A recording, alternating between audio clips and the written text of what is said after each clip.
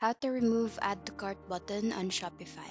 Hi there, today we'll learn about how to remove the add to cart button on your online store on the Shopify website.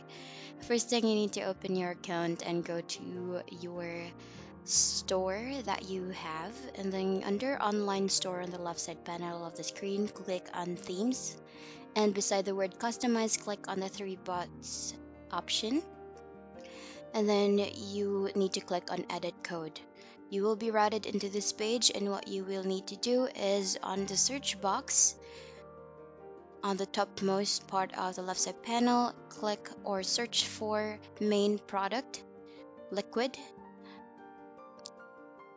When you click on main product liquid what you need to do is to click anywhere on the code page and then type in control F on your keyboard and then type the word cart for you to look for the part where we will be deleting. So you just need to click on next.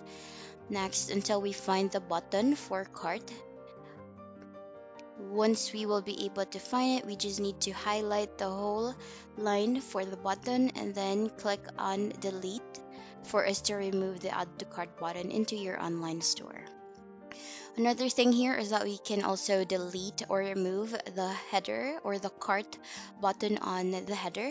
What you just need to do is to uh, click on edit code and then search for header.liquid. And then from here, you just need to click anywhere on the page and then type in cart. What you will need to find here is the line where it starts with href this line here, if it looks similar on your end, you just need to highlight the whole code line and then click on delete or remove. And then once done, you just need to save the changes. And then when you go to your online store and then refresh, the cart button on your website is now deleted. And that's how you will be removing the add to cart button into your online store. Thank you so much for watching. Bye!